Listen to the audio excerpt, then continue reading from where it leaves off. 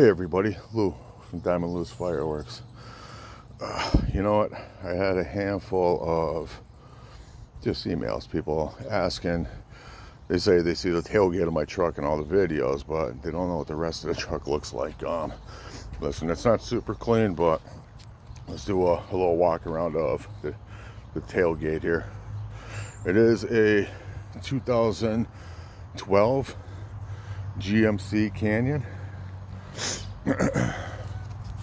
see here if I can back up a little. Four door. Um, it is the rare one. It does have the, it has the V8 in it.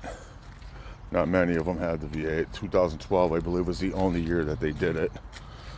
Um, for 2012, I, I'm the second owner. Um, I keep it fairly clean up to date. Pretty much stay on everything. But see here if I can. But yeah, this is all the things that you don't normally see besides just the tailgate.